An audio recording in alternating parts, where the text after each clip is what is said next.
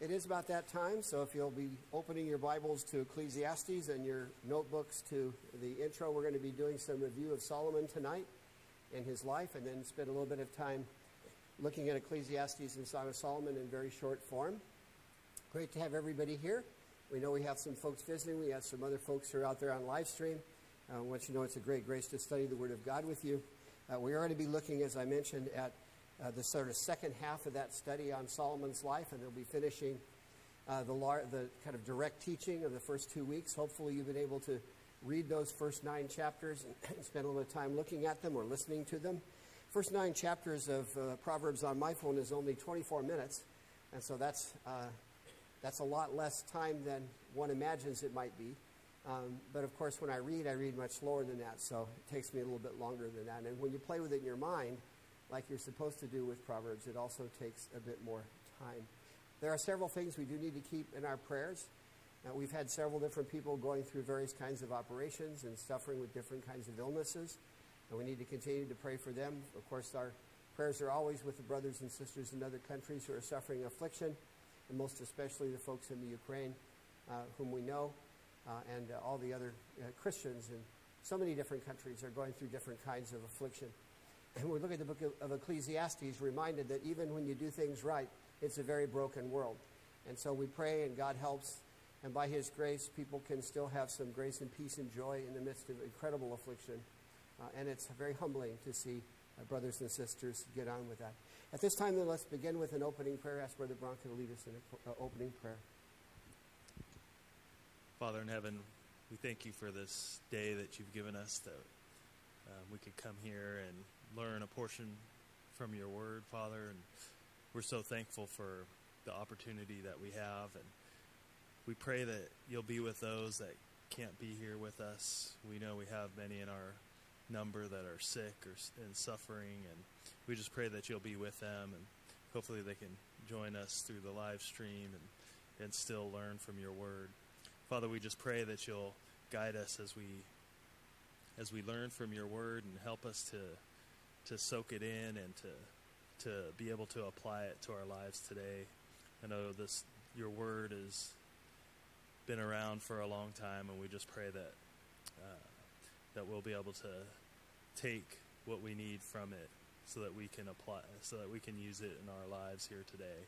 Father, we just are thankful for Ed and the opportunity that he has to to study your word and to to bring it to life for us. We thank you again for your son, Jesus. In his name we pray. Amen. Thank you very much. The things that he said there are so very true. And one of the great graces of my life has been able be, being able to have the time and opportunity to study the Word of God. Uh, and now, even in my retirement, uh, to have the opportunity to do that. And even though uh, I kind of stumble and bumble about, uh, you know, that's kind of what old people do, uh, it's still a great grace to be able to uh, stay in the Word and to continue to learn and grow that's one of the great graces we have. So we're going to be second, finishing up the second half of the introduction to Solomon tonight. And let's see if this is going to.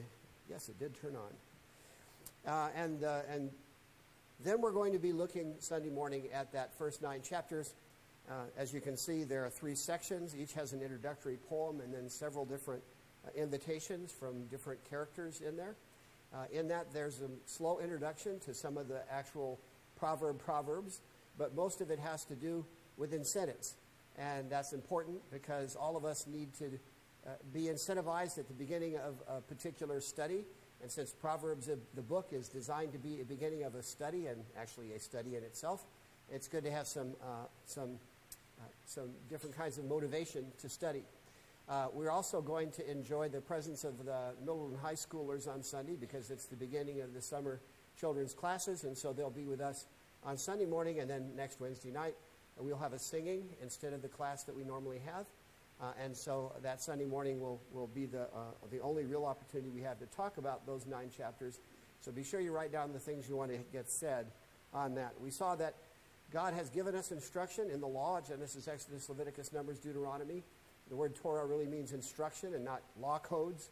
So all of it is instruction, the narrative as well as the law codes.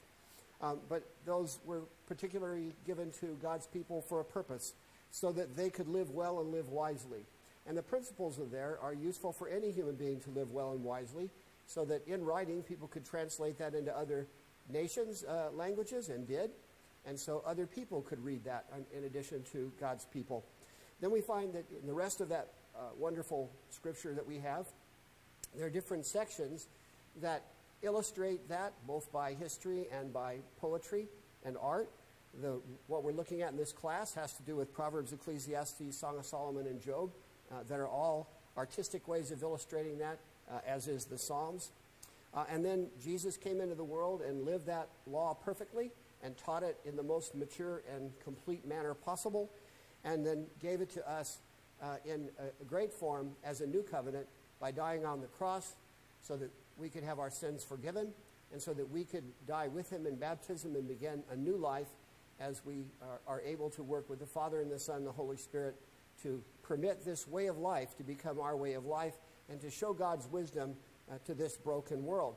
Uh, certainly imperfectly, because we're not going to do it flawlessly, but when we do it penitently, the Father and the Son and the Holy Spirit are able to uh, work through uh, all of the different things going on in life, and lots of people then can come to see the truth of the gospel and be saved. Not only that, we saw that those same teachings were taught in Ephesians, Colossians, and the other uh, letters, 1 Peter, Titus, uh, the letters written by Jesus' apostles and sometimes by the prophets. My understanding is we'll probably be looking at Titus uh, in the fall. And Titus and 1 Timothy take these same principles and not only teach them to us once again, but they also use them to evaluate leadership in, both male and female leadership in 1 Timothy in chapter 3 for the elders and the deacons, in chapter 5 for the specially supported uh, widows indeed. So these are very important principles for Christians to have. They are part of being saved, uh, and they are a great illustration. Uh, I'm having some issues with my computer being slow. There it is. Uh, and so the illustration I have of that is that the law is like a tree trunk, and then you have these different branches that illustrate it, the former prophets that we call history, and the poetry that we're looking at, especially in this class, the uh, larger and smaller uh, prophets that are written prophets, major and minor prophets. But Jesus is the fulfillment of all of that. He is the fruit of the tree, He is the blossom, uh, He is the perfection of it. We are members of His body. Everything happens in a text that uh, is surrounded by uh, different contexts, not only the literature that's around it, but the historical circumstance that's around it. And that's why we're spending time looking at Solomon, because this, uh, these three books are associated with him. Job is, of course, different. Uh, it's important to understand what kind of context this would come in, and so hopefully the different readings that we've had have been helpful. But as we've noticed, especially last Wednesday night, wisdom is a way of living one moment at a time. Uh, it's not a commodity that we keep in our hip pocket. It's not a, a, a, book or set of books that we keep in the library.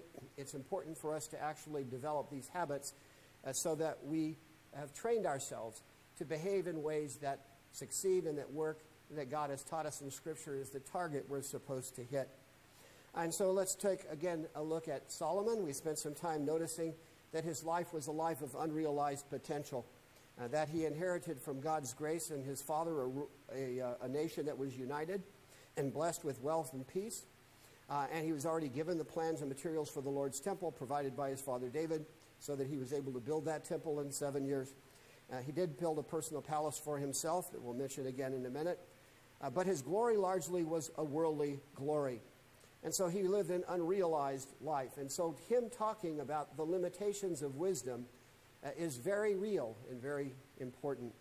We saw that he permitted idol worship and supported it among his wives. We saw that the Lord then tore this united kingdom from him and gave it to his son Rehoboam.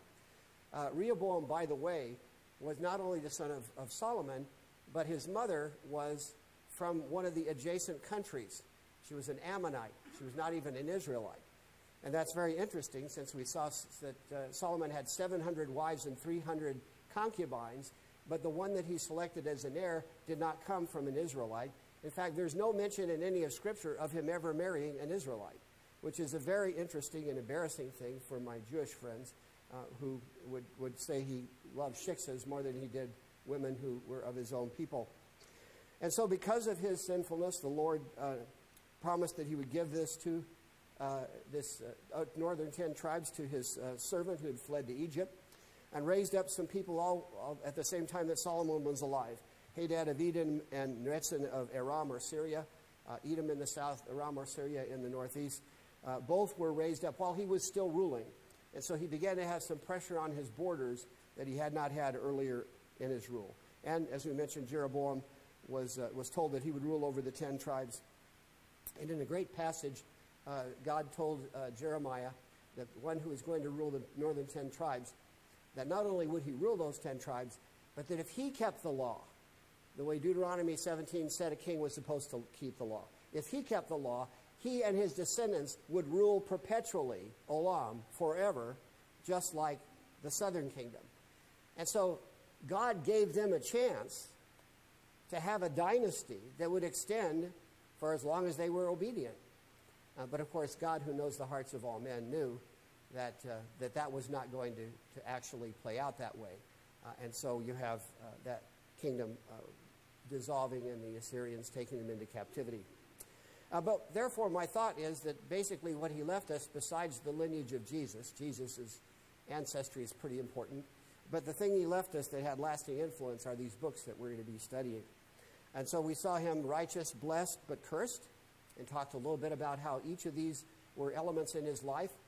And I suggested to you that the more you study this in detail, the harder it is to accept the sometimes taught view that he was great early, and then he got worse, and then he got terrible because the very first thing that 1 Kings 3 1 says is that he, he, that he married the daughter of Pharaoh. Uh, and that daughter of Pharaoh then becomes problematic. And then after he has this wonderful wisdom, he demonstrates it uh, by talking about how to deal with the two prostitutes and the one baby that was alive. That's all wonderful. And like we mentioned before, he was certainly admired by the Queen of Sheba, and that's wonderful. But the rest of chapter 4 is a matter of him doing a lot of things that look more like Pharaoh than they look like the king of Deuteronomy 17.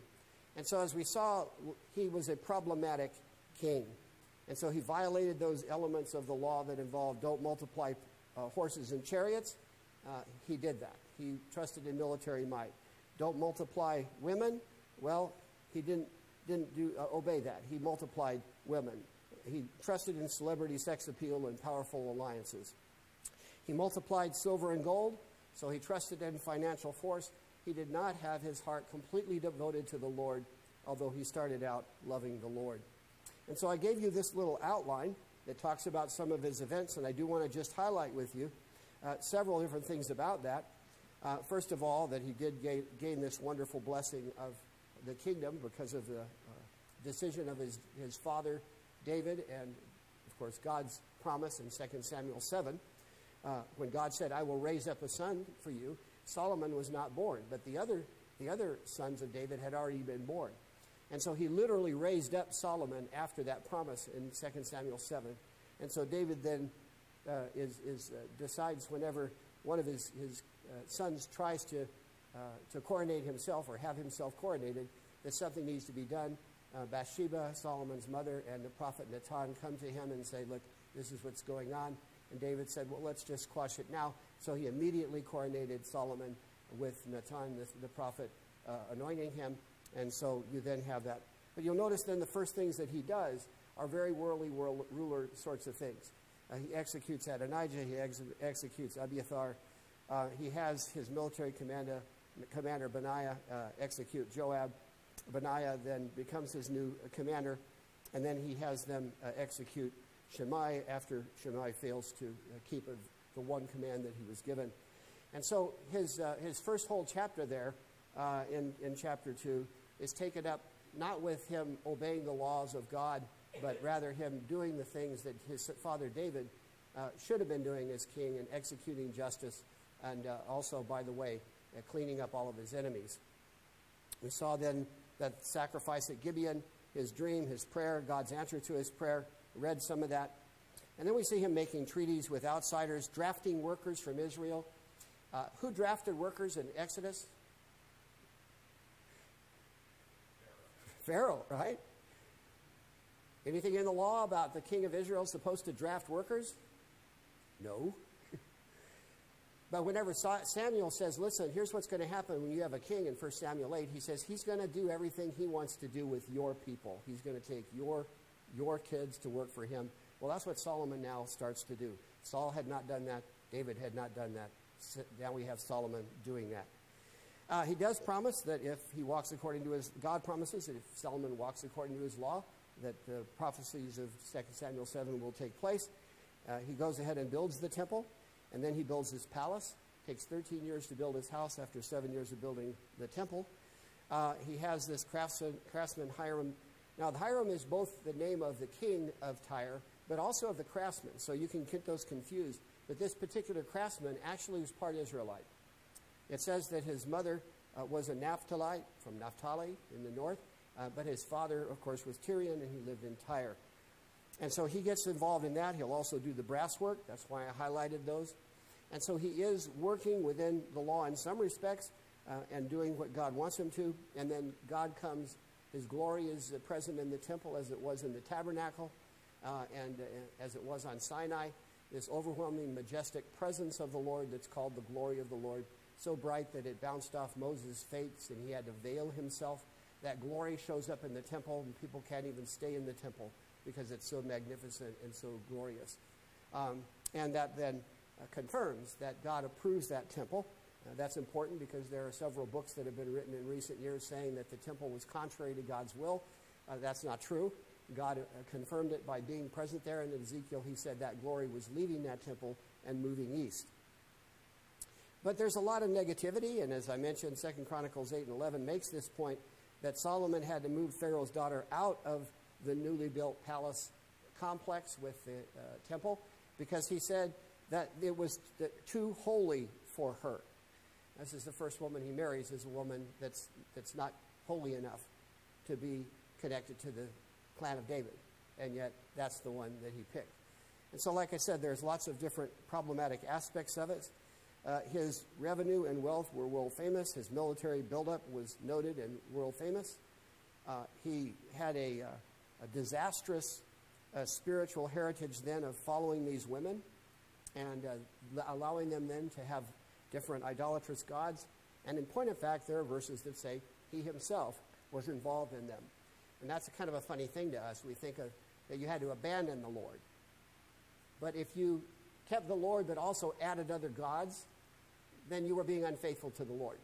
Even if you did not completely abandon the Lord, you had abandoned the Lord in, in, in not permitting him to be the only God, the only Lord. Uh, he says, Hear, O Israel, the Lord our God is one. There's just one. And so they had a, he had a problem with that. Um, and so whenever idolatry continues to be a problem, it didn't start after Solomon, it started with Solomon. Uh, and then again, God strengthened the Syrian and the, and the Edomite, and Jeroboam was ordained, and so forth. So now let's take a little bit of a look at the other things that we're going to talk about later in the class. We're going to open up with Proverbs. But after we've gone to school on Proverbs and we've got all of them memorized and we've got to where we can turn them over in our minds and work with them and all the things that we're probably not going to get done in the short amount of time we're going to be working on it uh, in this class. But that I know many of you have studied these Proverbs for many, many years. And some of you have gotten the drift of how these Proverbs work, how the art of them works, how they pull your mind into things, and how they make you have to think.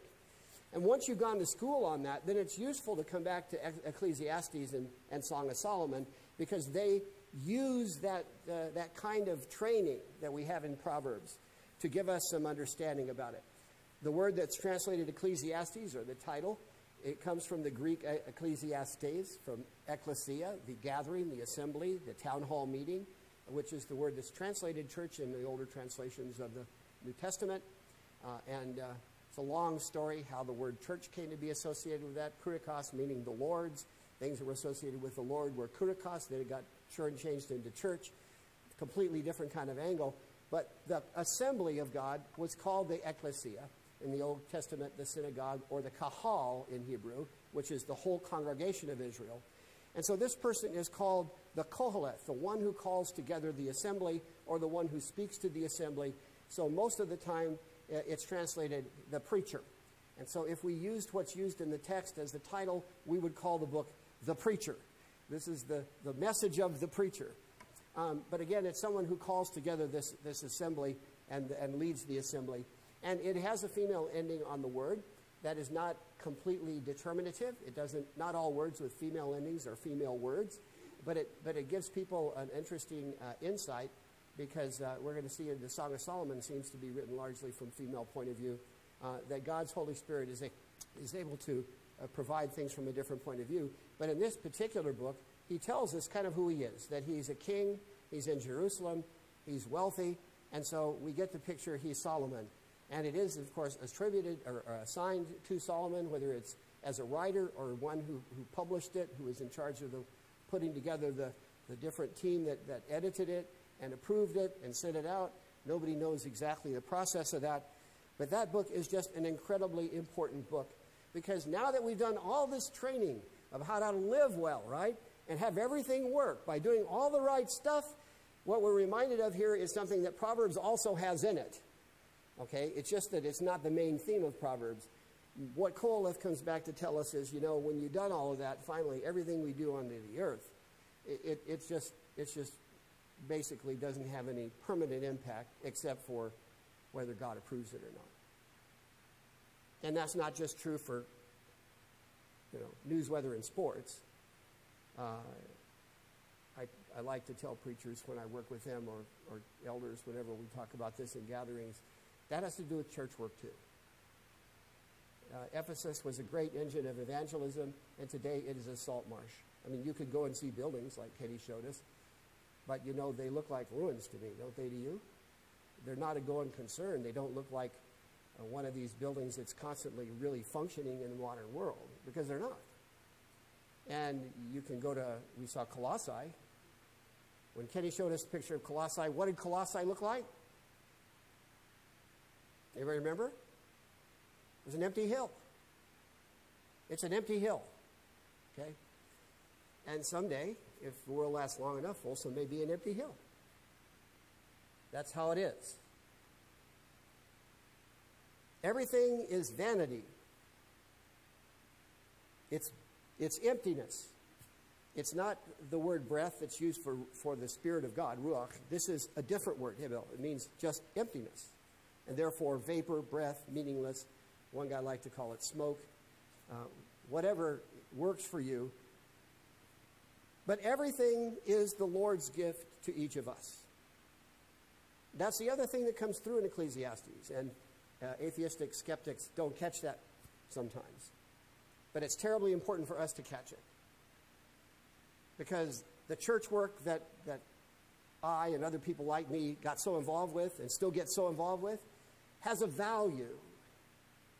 It's a gift that God is giving me to be able to be a part of this. And everybody who's ever been involved in teaching and preaching, serving as a deacon and elder, uh, serving as a wife or a woman in, in a congregation who's actively involved in serving other people, you realize that even if the end product doesn't last for thousands of years, there's a great blessing in doing it. It's a gift from God. And the more we see the opportunities that we have as a gift from God, the better we're able to have a good attitude about life. So, one thing matters that's fearing the Lord and keeping His commandments. That comes at the end of the book, as you know six simple sections opening in 1 1 through 2 that, uh, that life is under the sun is empty. Uh, second section, word picture of the climactic circle as illustrating the history circle. Uh, many of you may have known D. Bowman's preaching on this sermon. I know that he preached meetings in Vacaville and here and other places. And he, he was a masterful man at, at the chalkboard. And he would start in, and you wouldn't know what he was doing. He'd draw this wavy line that ends up being the West Coast. And then he talks about, the, like he's a weatherman, about the weather coming in off the coast, and then it goes through here and it goes through there, and the jet stream carries it down here and it comes back over there. And then he says, and then a few days later, well, the wind starts out here and it's the same thing. And anybody who watches the weather for very long, you know that's how it works. And when we have a hot spell, it's because all of that slows down and we don't get that delta breeze as much. And whenever it speeds up, then all of a sudden we have that. And if it backs up completely, we have a north wind, and whatever's in the north, we have either cold or south. It's all very predictable, and it doesn't change much unless the jet stream changes its particular path, right? And so he uses this initial illustration then.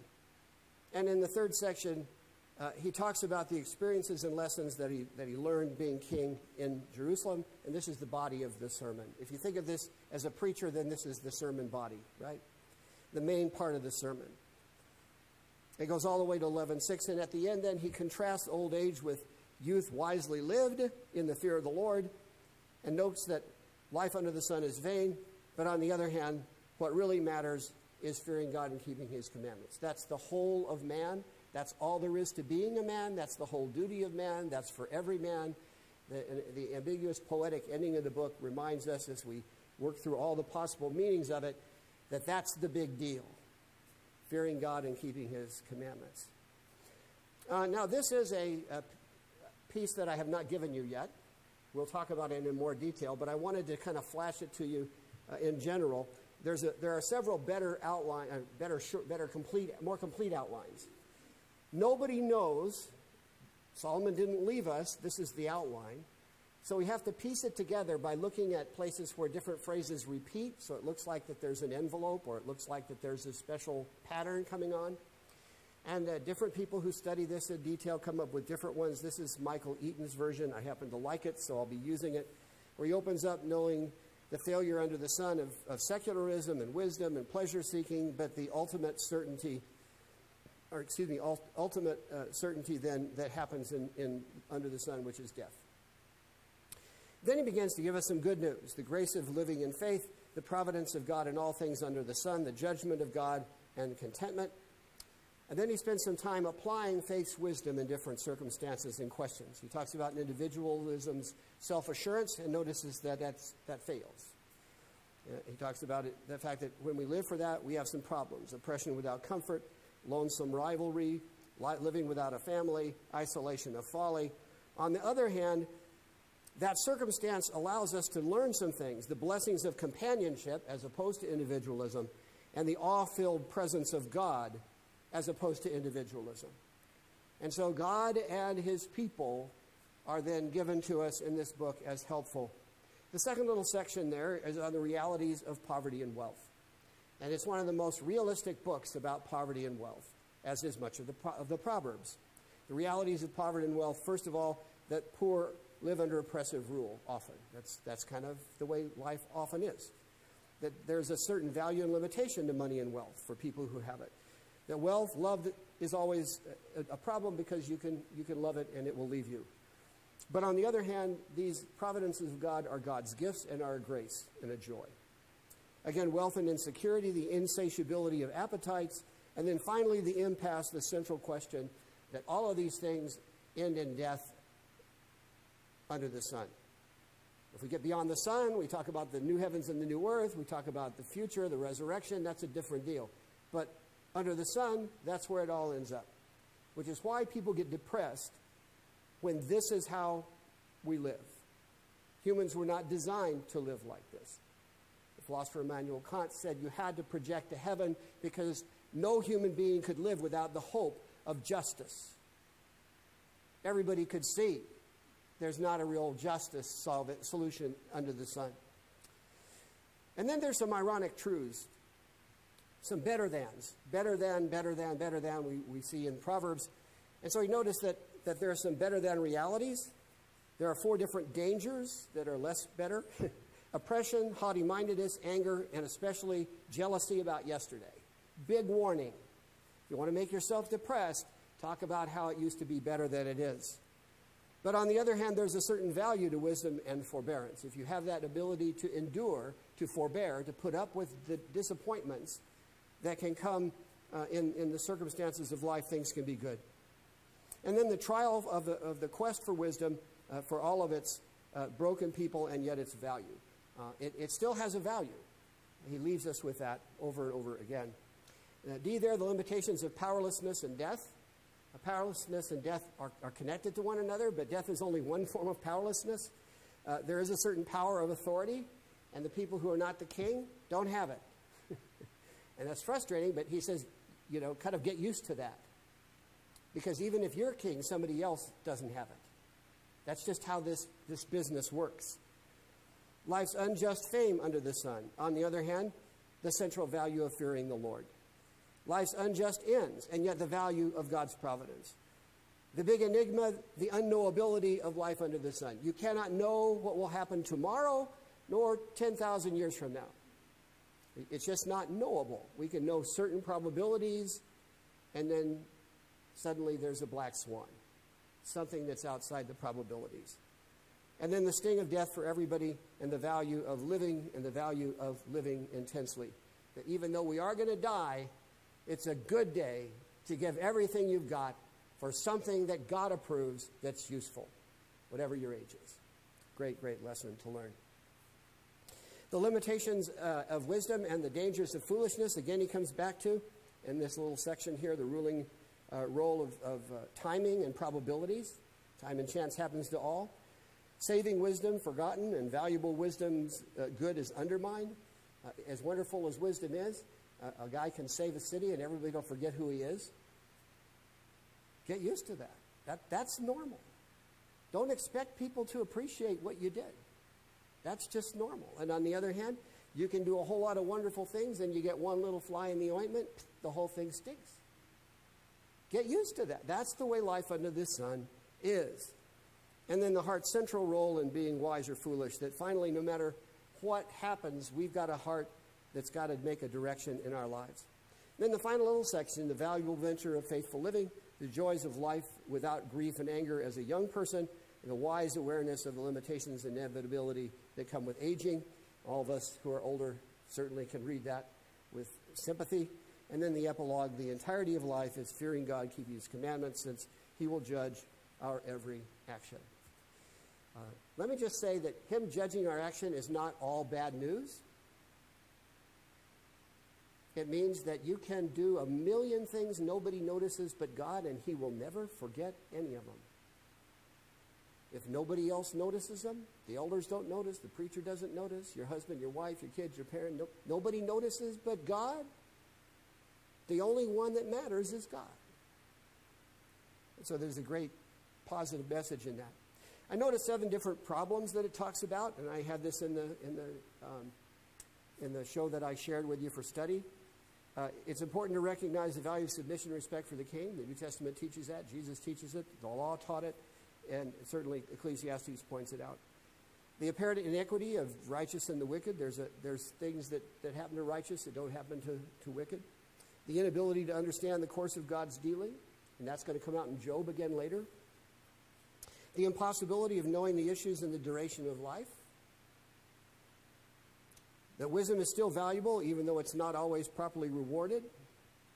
That wisdom's relative superiority to foolishness and that we need to live wisely even if we're living in the misery of a state under a foolish ruler. It may be more important when you live under bad government to behave wisely than it is any other time, because you may have more downside risk to misbehaving and being fools. Um, this is a little sermon that I preach. Preachers like the sermons they preach. Uh, that tried to summarize Ecclesiastes. I've done it lots of times through the years, but Basically, it gives a little introduction, and the three main points then is that life is vain, but life is beautiful and joyous, in exactly the same places where it tempts us to covet and despair, and that the difference between despair and joy is recognizing and remembering that our place is in God's universe.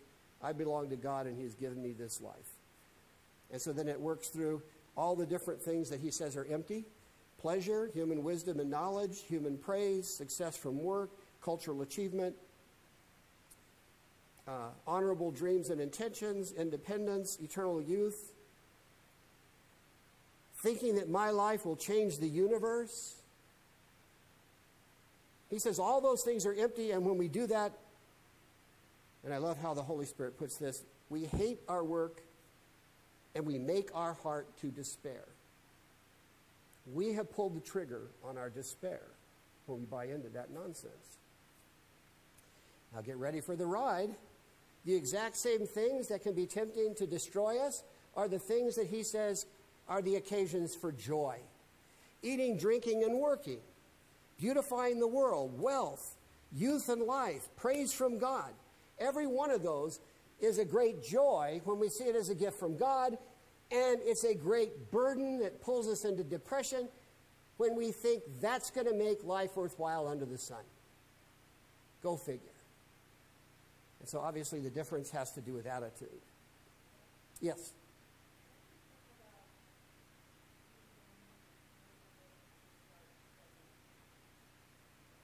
Yes. In the, um, in the it's good to see you, Allison. It's a very good question. She's asking about what about using this for evangelism, for studying with people. Uh, in the very first um, uh, le- lecture that I did, or you know, direct teaching that I did, I made, I made the point more in passing, but it's in that first essay that I gave out, that article on uh, wisdom from above. I make the point that because everybody has some idea of what they think wise is and right is, this is a natural place to have a bridge, to sit down with them and to talk about these things. Now, while that's true for Proverbs, it's also really true for, for Ecclesiastes. It's a little harder with Song of Solomon, because that has a very special place. But your point is exactly right.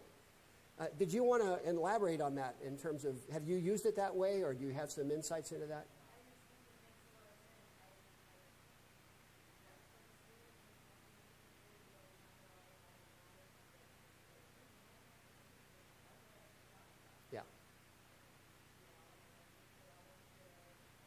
Yes.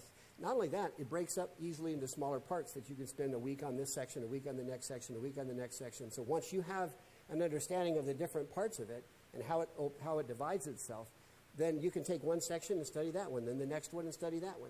And if you don't like the ones that I've got, you can subdivide it in other ways. But I, I would suggest you, you let it end in a place where it naturally ends because it, it is making the point it's going to get to whenever you uh, accept the Holy Spirit's organization.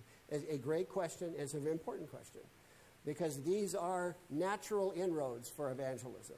Everybody I know who preaches and teaches in people's homes eh, will, will have some approach where we come out of, out of Ecclesiastes or out of Proverbs or out of both of them or either of them. Uh, it's a terribly good way to do that.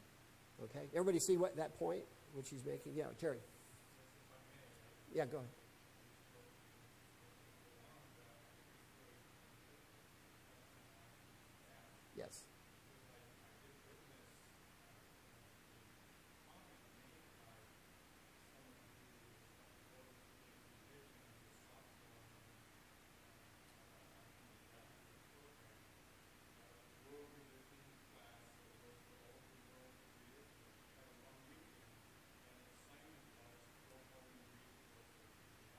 Yes.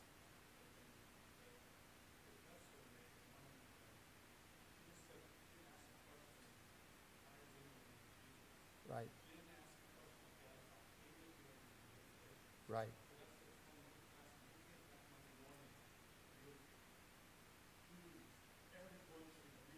That's right. It tells you why you should need Jesus. Yeah. Yeah. Yeah. No, it's exactly right. And in, you can't make this stuff up. You can't make this stuff up. In real life, here you are in this class, a sophomore class.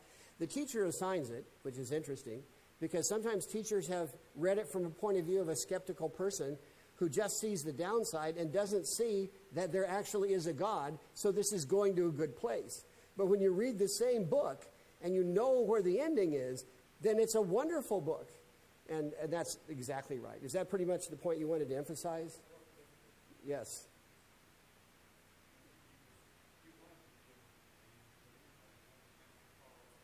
Yeah.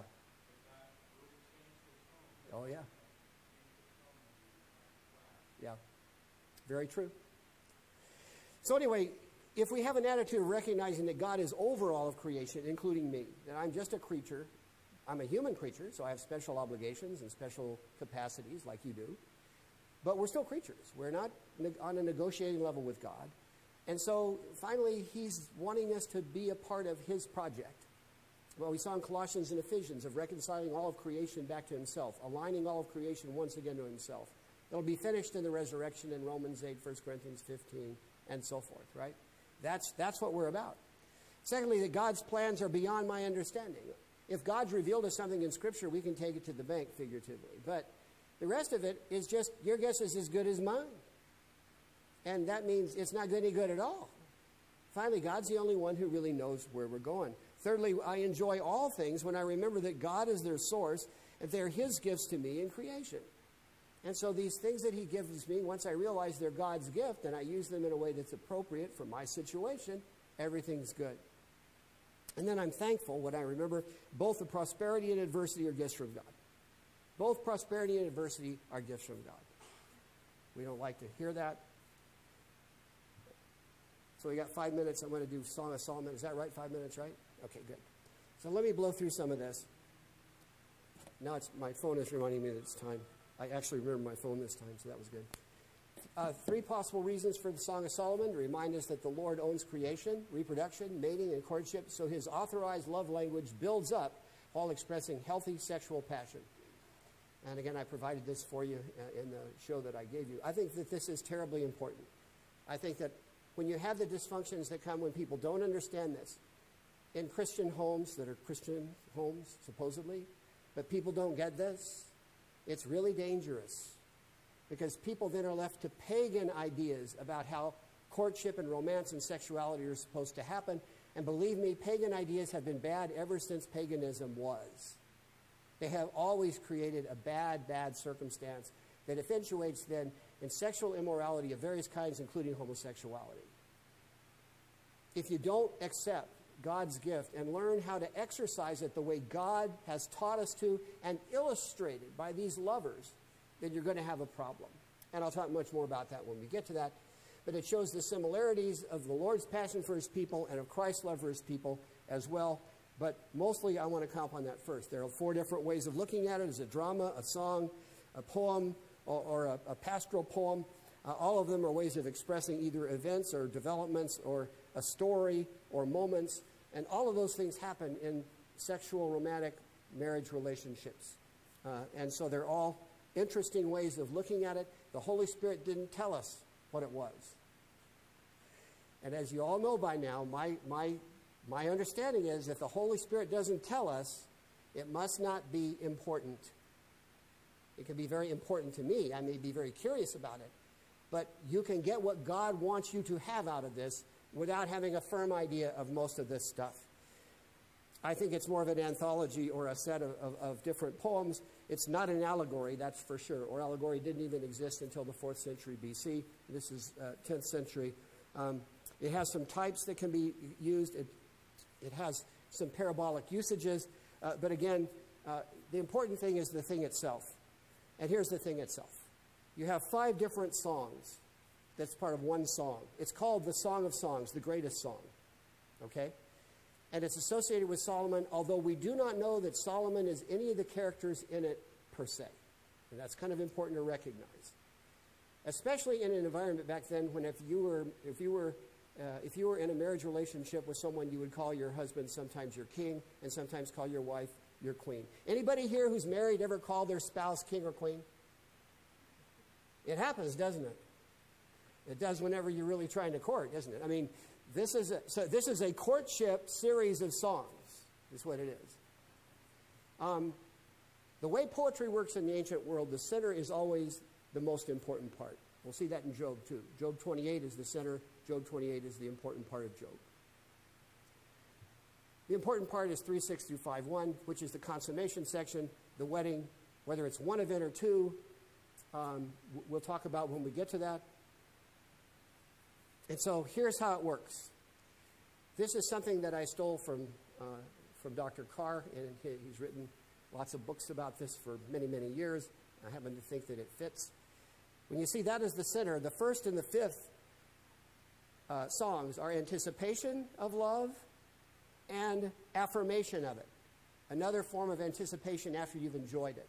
The, affirm, the, the anticipation before you've enjoyed marriage and then the continued anticipation after you've been. I've been married for 51 years. I still anticipate being with my wife.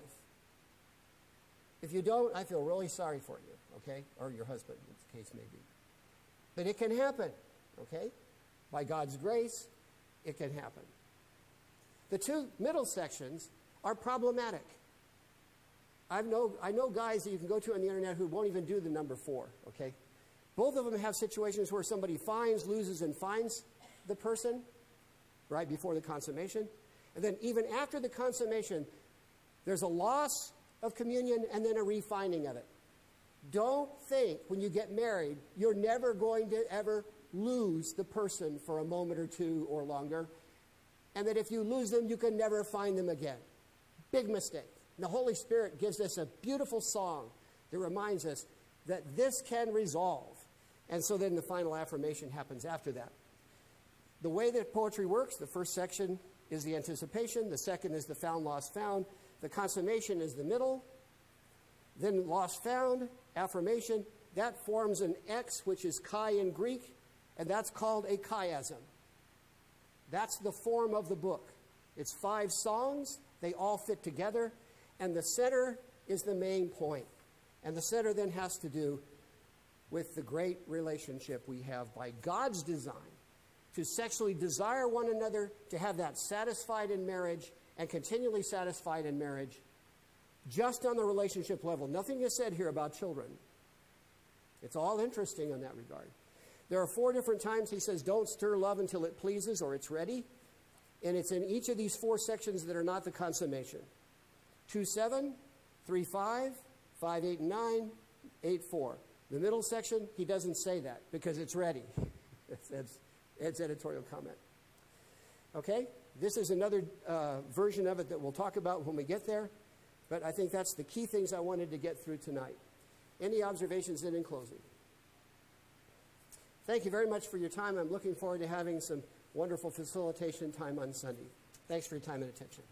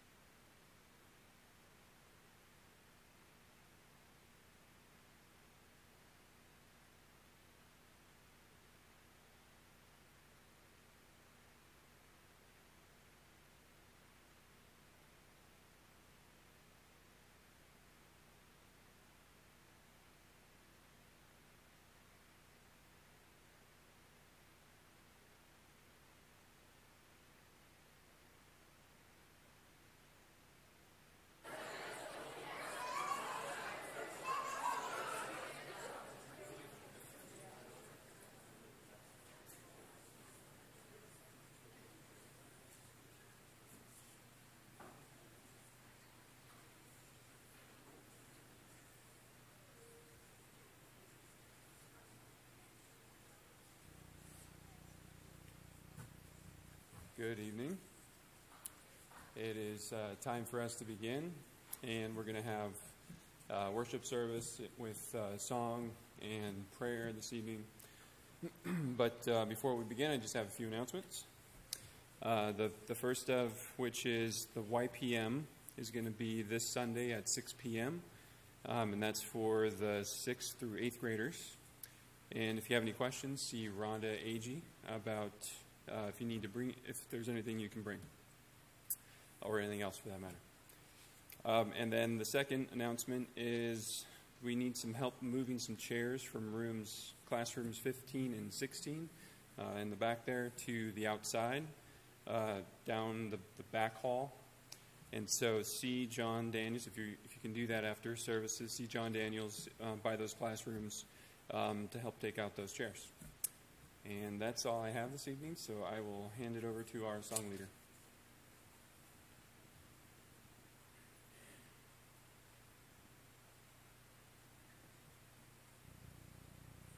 Evening. We'll be singing number 224 from the large book. 224. There's a rainbow in the cloud.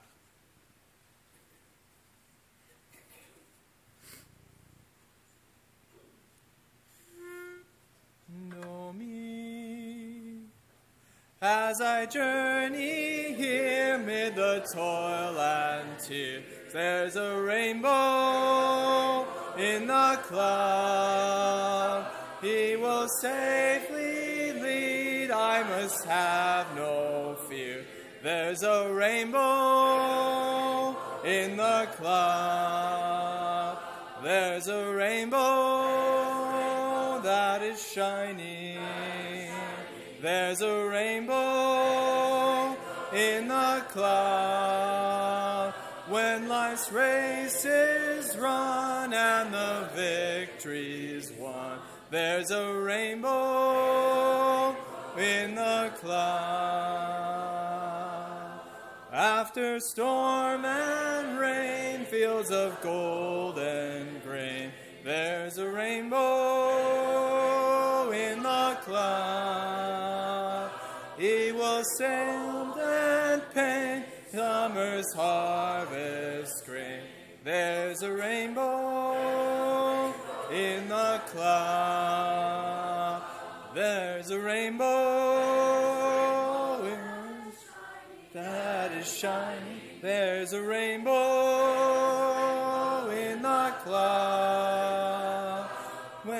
When race is run and the victory's won, there's a rainbow in the cloud. When the storms all pass, comes a brighter day. There's a rainbow in the cloud. In the city fair, there's a crown to wear. There's a rainbow in the cloud. There's a rainbow that is shining. There's a rainbow in the cloud. When life's race is run and the victory's won, there's a rainbow in the cloud.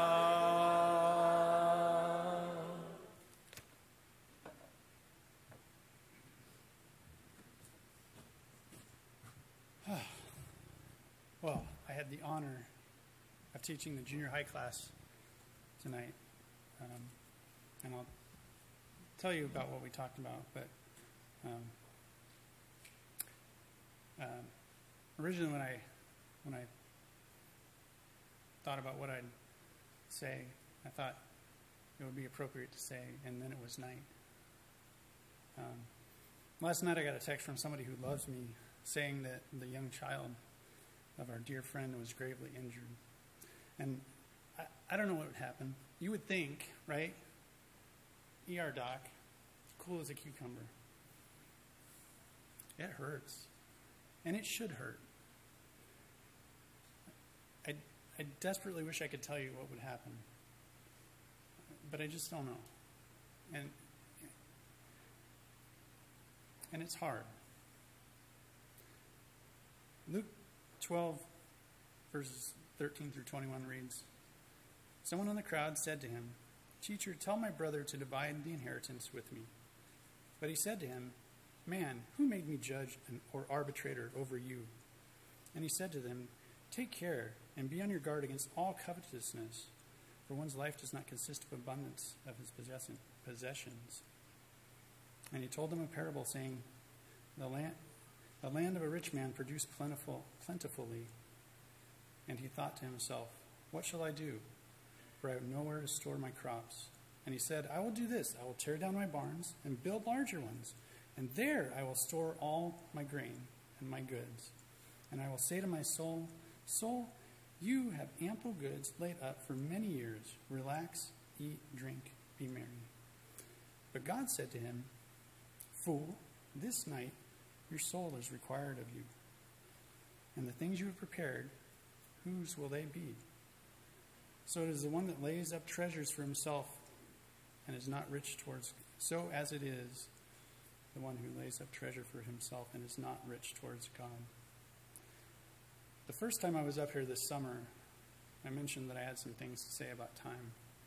I don't think I can do it justice in this short little bit.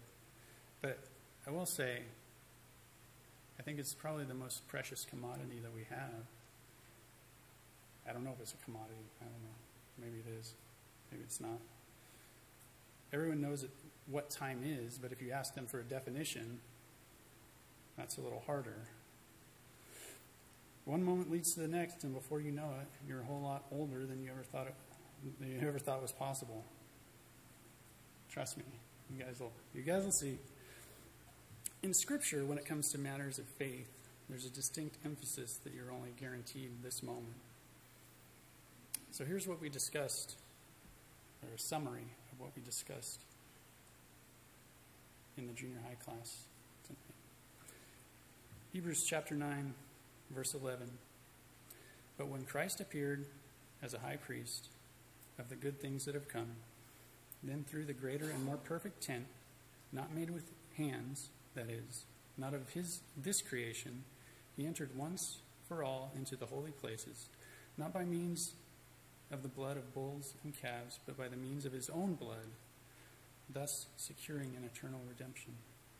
For if the blood of bulls and goats and the sprinkling of defiled persons with ashes of heifer sanctify for the purification of the flesh, how much more will the blood of Christ, who through the eternal Spirit offered himself without blemish to God, purify our conscience from the dead works to serve the living God?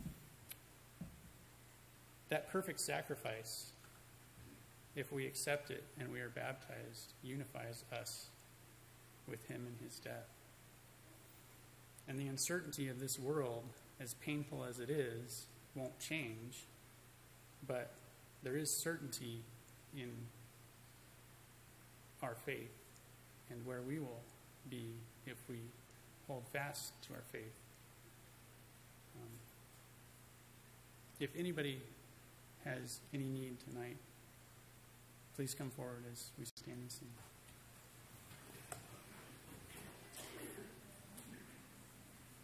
Living below in this old sinful world, comfort I get from God's own word.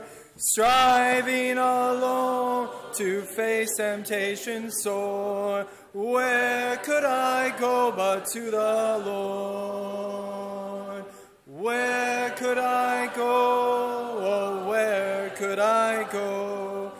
Seeking a refuge for my soul, needing a friend to save me in the end. Where could I go but to the Lord? Neighbors are kind, I love them every one. We get along in sweet accord. But when my soul needs manna from above, Where could I go but to the Lord? Where could I go? Where could I go? Seeking a refuge for my soul, needing a friend to save me in the end. Where could I go but to the Lord? Life here is grand with friends I love so dear. Comfort I get from God's own word. Yet when I face the chilling hand of death, where could I go but to the Lord? Where could I go? Oh, where could I go? Seeking a refuge for my soul, needing a friend to save me in the end. Where could I go but to the Lord? Be led in a closing prayer.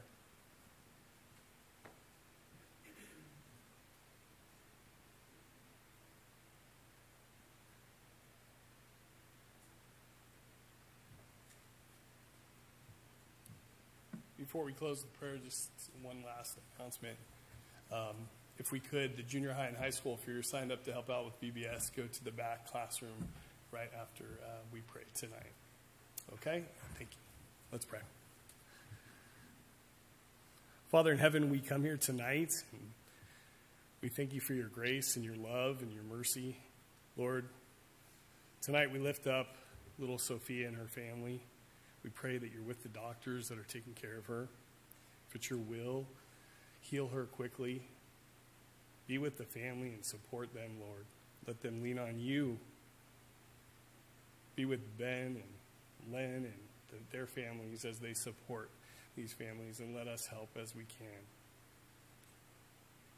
Father, we thank you so much for the many blessings you give us. You lift us up each day, you guide us, you gave us your Son. Lord, we pray that we can be good examples and continue to be lights in everything we do this week. Keep us all healthy and safe. In Jesus' name, amen. Also, a reminder if you can help move some chairs, fellas, bring the muscles in the back real quick. Thanks.